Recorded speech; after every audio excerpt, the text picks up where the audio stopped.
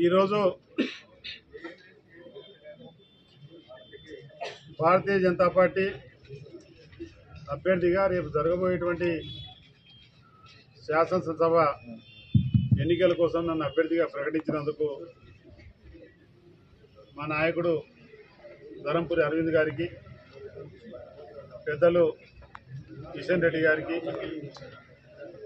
మా భారత ప్రధాని గారికి మా జాతీయ అధ్యక్షుడు గారికి ప్రత్యేకమైనటువంటి ధన్యవాదాలు తెలియజేస్తూ అదే రకంగా ఈ పార్టీ టికెట్ కోసం సహకరించి అందరం కలిసి పనిచేసుకున్నటువంటి సందర్భంలో అందరము టికెట్ల కోసం ఆశపడ్డప్పటికీ అన్నదమ్ముల లెక్క పనిచేసుకొని పెద్దలు ప్రకాష్ రెడ్డి గారు కానీ పెద్దలు నరసింహారెడ్డి గారు కానీ అట్లూరు శ్రీనివాస్ గారు కానీ మా జడ్పీటీసీలు కానీ మా ఎంపీపీలు కానీ మా పార్టీ నాయకులు సీనియర్ నాయకులు పార్టీ టికెట్ కోసం అప్లై చేసుకున్నటువంటి ప్రతి ఒక్క నాయకుడు అందరి సమిష్టి కృషితోటే పార్టీ నాయకత్వం నన్ను ఈరోజు అభ్యర్థిగా ప్రకటించడం. పార్టీకి రుణపడి ఉంటానని చెప్పేసి కూడా తెలియజేస్తా ఉన్నాం. అదే రకంగా ఈరోజు ఈ పత్రికా సమావేశానికి పెద్దలు ప్రకాష్ రెడ్డి గారి ఇంట్లో పూజా కార్యక్రమాలు నడుస్తున్నందువలన వారు ఇక్కడికి రాలేకపోయారు. ఇప్పుడు అత్యవసరంగా ఇక్కడ సమావేశం ఏర్పాటు చేసుకున్నాం. ఇప్పటికే ఇంకా కొన్ని మండలాల నుంచి నాయకులు రావాల్సి ఉంటే వాళ్ళు రావడం ఆలస్యం అవుతుంది మీ అందరికీ కూడా సమయం లేదు కాబట్టి పత్రికా సమావేశం సమావేశం త్వరగా ప్రారంభించుకున్నాం ఈ కార్యక్రమంలో మా పట్టణాధ్యక్షులు బాలరాజు గారు సీనియర్ నాయకులు సుధాకర్ గారు మా అసెంబ్లీ కన్వీనర్ శ్రీధర్ గారు అదేవిధంగా మా మండల అధ్యక్షులు సరేన్ గారు ఇంద్రకరణ్ గారు మనోహర్ గారు గోపి గారు అదేవిధంగా ప్రవీణ్ గారు వేదిక మీద ఉన్నటువంటి మా సీనియర్ నాయకులు మా కార్పొరేటర్ చిన్న గారు ఫ్లోర్ లీడర్ అదే రకంగా మా మోర్చా అధ్యక్షులు మా బీజేపీ కార్యకర్తలు ప్రతి ఒక్కరికి కూడా పేరు పేరున నమస్కారాలు తెలియజేస్తా ఉన్నాం. చాలా ఉత్కంఠత భరితగా రెండు పార్టీలు టికెట్ జాతీయ పార్టీ అయినటువంటి కాంగ్రెస్ ఇక్కడ ఉన్నటువంటి స్థానిక బీఆర్ఎస్ పార్టీ టికెట్లు అభ్యర్థులను ప్రకటించడం జరిగింది. భారతీయ జనతా పార్టీ అభ్యర్థి కొంత ఆలస్యం అయినప్పటికీ కూడా భారతీయ జనతా పార్టీ నాయకులమందరం కూడా సంవత్సరం నుంచి గ్రామాల్లో కానీ పట్టణంలో కానీ నిరంతరము ప్రజల యొక్క సమస్యలు తెలుసుకుంటూ ప్రజలకు ఎటువంటి మౌలిక వసతులు కల్పించాలి. భవిష్యత్తులో Bharatiya Janata party double engine సర్కార్ వచ్చిన తర్వాత ఏ రకమైనటువంటి పనులు ప్రజలకు చేసి పెట్టాలనే దాంట్లో నిరంతరం గ్రామాల్లో తిరుగుతూ గ్రామంలో ఉన్నటువంటి మహిళలు వృద్ధులు యువకులు అందరి సమస్యలు కూడా మేము తెలుసుకోవడం జరిగింది. ఇప్పటికే వారికి కొత్త ఉండొచ్చు ఒక పార్టీ అధ్య ఒక పార్టీ శాసనసభ్యుడు గతంలో మూడు సార్లు శాసనసభ్యుడు చేసి మంత్రి చేసినప్పటికీ ఆయన గత నాలుగు సంవత్సరాల నుంచి కూడా ఎక్కడ కనిపించకుండా ఇప్పుడు గ్రామాల్లో తిరుగుతున్నటువంటి విషయం. శాసనసభ్యుడు అయినప్పటికీ శాసనసభ ఇక్కడ ఎమ్మెల్యే ఎమ్మెల్యేగా ఉన్నప్పటికీ కూడా గ్రామాల్లో పర్యటించినటువంటి పరిస్థితి. ఇప్పటికే మేము రెండు పర్యాయాలు అన్ని గ్రామాలు పట్టణము మొత్తం కూడా చుట్టుముట్టడం జరిగింది. ప్రజలందరికీ కూడా భారతీయ జనతా పార్టీ నాయకత్వం మీద విశ్వాసం ఉంది. ఈరోజు నేను బోధన్ నియోజకవర్గ ప్రజలను నేను కొడతా ఉన్నాను. సుదర్శన్ రెడ్డి గారికి ఆరు సార్లు ఓటేసిర్రు మూడు సార్లు గెలిపించారు మూడు సార్లు ఆయన ఓటమి చెందడం జరిగింది. ఎనభై తొమ్మిది నుంచి మొదలు పెట్టుకుంటే ఇక్కడ ఉన్నటువంటి షకీల్ అమీర్ గారికి మూడు సార్లు ఓటేసిర్రు. ఒకసారి ఓడిపోవడం జరిగింది రెండు సార్లు శాసనసభ్యుడిగా గెలవడం జరిగింది. వీరిద్దరిని కూడా ఈ బోధన్ నియోజక ప్రజలు గత ఇరవై ఐదు ముప్పై సంవత్సరాల నుంచి మీరు చూస్తా ఉన్నారు.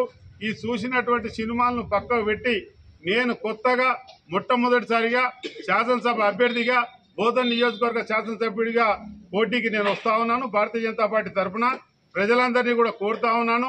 నేను నాకు ఓటేసి గెలిపించి భారతీయ జనతా పార్టీ ప్రభుత్వం డబుల్ ఇంజన్ సర్కార్ వస్తుంది. తప్పకుండా మేమందరం కూడా ఇక్కడ కలిసికట్టుగా పనిచేసి మన బోధన నియోజకవర్గ అభివృద్ధి కోసం మేము తోడ్పడతాం. మీ అందరు కూడా చూస్తా ఉన్నారు గతంలో చక్కెర ఫ్యాక్టరీ ఏ విధంగా పనిచేసేది? గతంలో కార్మికులు ఏ రకంగా చక్కెర ఫ్యాక్టరీలో పనిచేసేవాళ్ళు? ఈ చక్కెర ఫ్యాక్టరీలో ఉన్నటువంటి మండలాల పరిధిలో రైతాంగం బోధన్ షుగర్ ఫ్యాక్టరీకి ఏ రకంగా వచ్చారు? అన్ని మండలాల రైతులు ఈ చక్కెర ఫ్యాక్టరీ దగ్గర కలుసుకొని క్యాంటీన్లో టీ తాగడము బోధనలో హోటల్లో భోంచేయడము మీ ప్రాంతంలో ఏ రకంగా ఉంది మా ప్రాంతంలో ఏ రకంగా ఉంది మా అమ్మాయిని మీకు ఇస్తాం మీ అబ్బాయికి మా అమ్మాయిని ఇస్తామని సంబంధాలు కలుపుకొని ప్రాంతాల వారందరూ కలిసి ఉండేటువంటి బోధను ఈ రోజు ఇక్కడ చూసినట్టయితే బోధన కళావీనంగా ఉండడం జరిగింది. ఈ రోజు డబుల్ ఇంజన్ సర్కార్ వచ్చిన తర్వాత రైతాంగానికి బోధన చక్కెర ఫ్యాక్టరీ తెరిపిస్తామని చెప్పేసి భారతీయ జనతా పార్టీ తరఫున మా నాయకులందరూ కూడా మేమందరం గట్టి నిశ్చయిత ఉన్నాం. రాష్ట్రంలో భారతీయ జనతా పార్టీ కేంద్రంలో జాతీయ రాగానే చక్కెర ఫ్యాక్టరీని ఏ విధంగా నడిపించాలి కార్మికుల హక్కులను ఏ రకంగా కాపాడాలి కార్మికులు రావాల్సినటువంటి బకాయిలు ఏ రకంగా చెల్లించాలి? రైతాంగానికి ఏ రకంగా పంట దిగుబడి తేవాలి? రైతుకు ఏ రకంగా మద్దతు ధర రావాలి? చెరుకు పండించేటువంటి రైతుకు మంచి మద్దతు ధర ఏ విధంగా లభించేటట్టు చూడాలి? కార్మికులకు కర్షకులకు అందరికి కూడా పనిండేటట్టు ఏ రకంగా చేయాలనో భారతీయ జనతా పార్టీ మాకున్నటువంటి అనుభవంతో తప్పకుండా చేసి తీరుతామని కూడా తెలియజేస్తా ఉన్నాను. అదే రకంగా నేను హామీ ఇస్తా ఉన్నాను ప్రజలు. మీరందరూ కూడా ఆలోచించండి. ఇక్కడ ఉన్నటువంటి షకీల్ గారిని ఊడగొట్టాలంటే ఒక భారతీయ జనతా పార్టీ కమలం పువ్వుతోటే సాధ్యం? ఏ పార్టీతో సాధ్యం కాదు. మిగతా పార్టీ వాళ్ళు చెప్తుండొచ్చు. నేను కూడా హిందూనే కదా నాకు కూడా ఓటేయండి అని మిగతా పార్టీ వాళ్ళు చెప్తుండొచ్చు. ఆ మాయ మాటలు నమ్మినట్టయితే ఆ పల్లబొల్లి మాటలు నమ్మినట్టయితే మన లక్ష్యాన్ని మనం చేరుకోలేం. మీలో ఉన్నటువంటి లక్ష్యం మీలో మీ మనసులో ఉన్నటువంటి కసి మీ దగ్గర ఏదైతే మీరు ఆలోచన చేస్తున్నారో నిరంతరం ఏదైతే ఎమ్మెల్యేని మార్చాలని మీరు కోరుకుంటున్నారో మీ ఆలోచన మీ పూర్తి కావాలంటే కేవలం ఒక భారతీయ జనతా పార్టీతోటే సాధ్యం కాబట్టి ప్రజలందరూ కూడా ఎక్కడ కూడా డైవర్ట్ కాకుండా పువ్వు గుర్తుకే ఓటేయాలి రెండో కాన్సెప్ట్ పెట్టుకోవద్దు. ఇక్కడ ఉన్నటువంటి సుదర్శన్ రెడ్డి గారిని మూడు సార్లు చూడడం జరిగింది. షకీల్ గారిని రెండు సార్లు చూసిండ్రు. శాసనసభ్యుడు ఏ రకంగా ఉండాలి?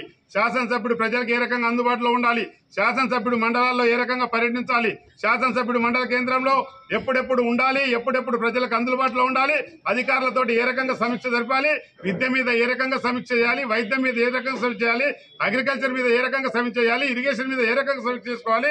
శాంతి భద్రతల మీద ఏ రకంగా సమీక్ష చేసుకోవాలన్నా అక్కడ కూర్చొని స్థానికంగా కూర్చున్నటువంటి స్థానిక మేధావులతోటి యువకులతోటి అక్కడ ఉన్నటువంటి అధికారులతోటి సమీక్ష జరిపినట్టయితే స్థానిక సమస్యలు మనకు తెలుస్తాయి.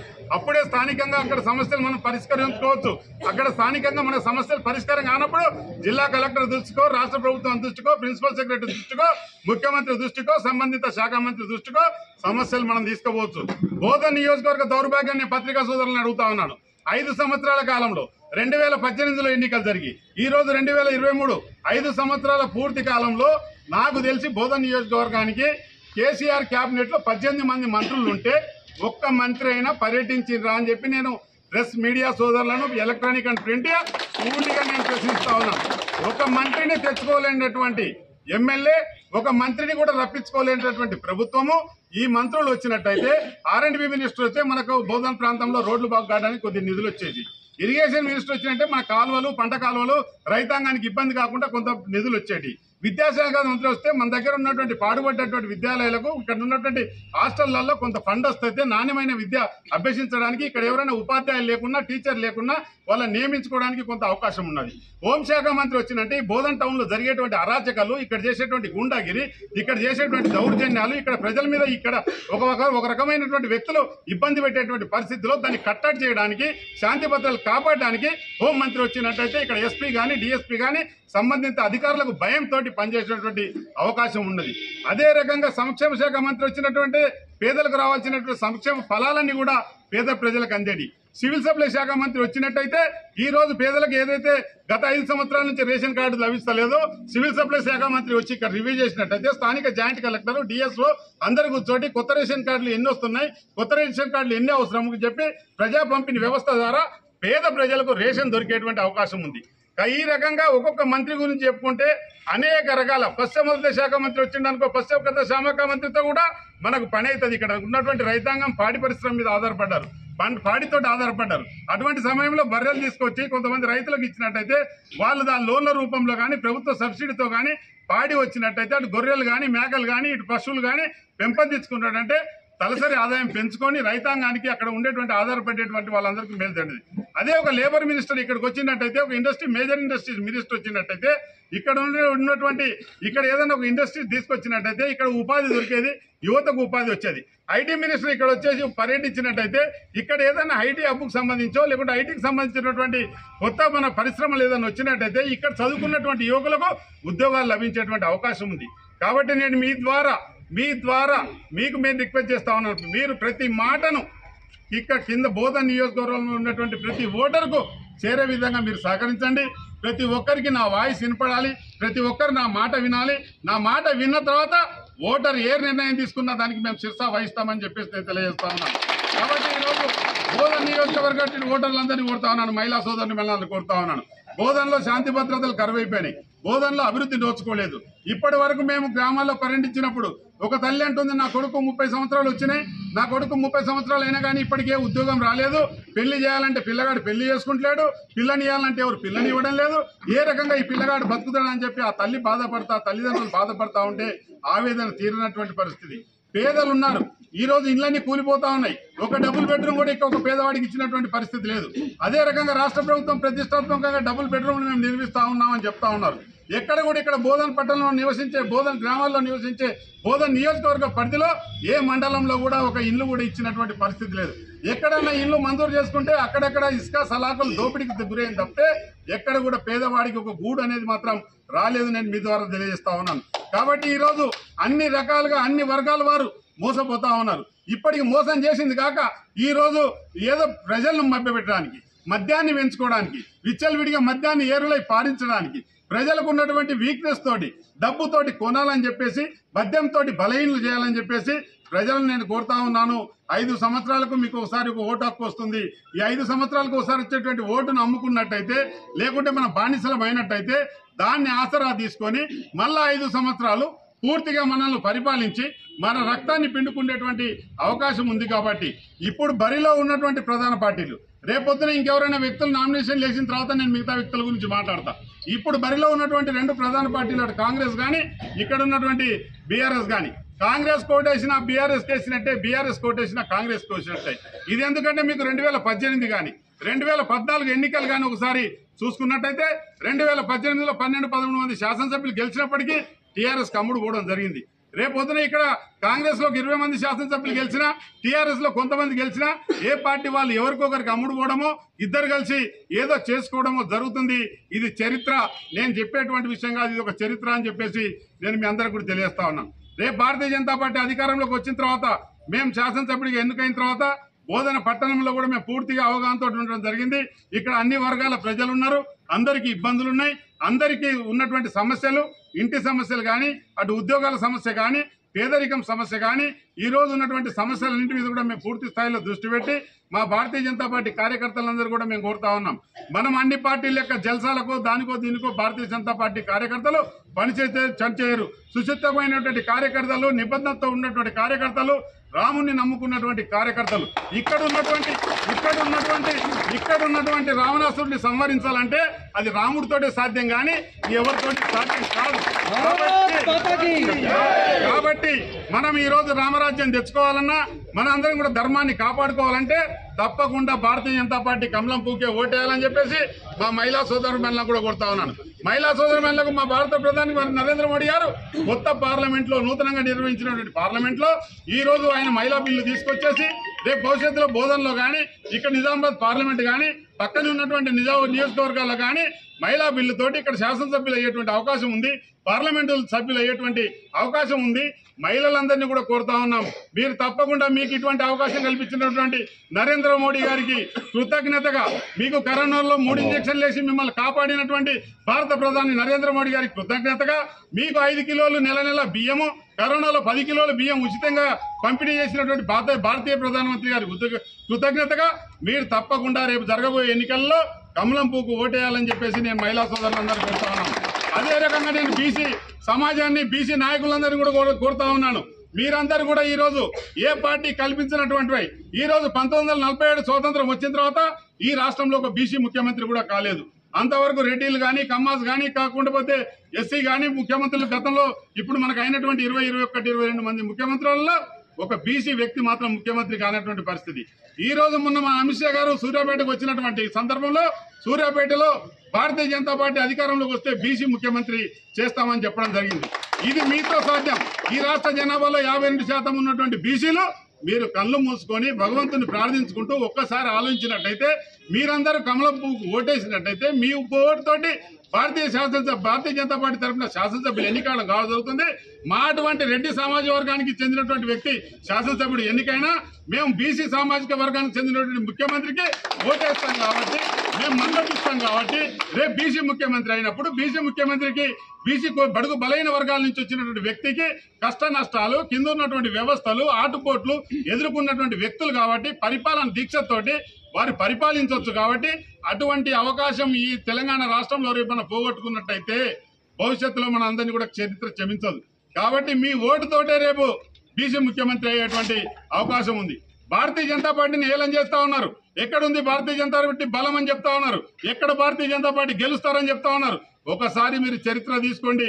పంతొమ్మిది వందల ఎనభై ఐదులో కేవలం రెండు స్థానాలతో పంతొమ్మిది ఎనభై నాలుగులో రెండు స్థానాలతో పార్లమెంట్లో అడుగుపెట్టినటువంటి భారతీయ జనతా పార్టీ ఈ రోజు మూడు వందల ముప్పై సీట్లతోటి సొంత కాలం మీద భారతదేశాన్ని ఇప్పటికే పదిహేను పదహారు సంవత్సరాలు పరిపాలించి మోడీ గారి నాయకత్వంలో పది సంవత్సరాలు ఇప్పుడు పూర్తి చేసుకున్నటువంటి సందర్భంలో ప్రపంచ జీ ట్వంటీ దేశాలు కానీ ప్రపంచ దేశాల్లో భారతదేశ కీర్తి ప్రతిష్టలు పెంపొందించి భారతదేశానికి ఒక గౌరవం ఇంప్లించేటటువంటి భారత ప్రధాని ఆయనకు స్వార్థం లేనటువంటిది.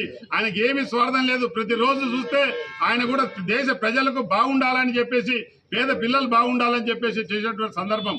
కాబట్టి ఇన్ని రకాలుగా ఇన్ని సమస్యలతోటి మేము ముందొస్తా ఉన్నాం. నేను మీ మీడియా సోదరులను కోరుతా ఉన్నాను. మీరు మాకు పూర్తి మద్దతు ఇవ్వాలి. ఎందుకంటే ఇప్పటివరకు ఈ శాసనసభ్యులు గెలిపించుకోవడం జరిగింది.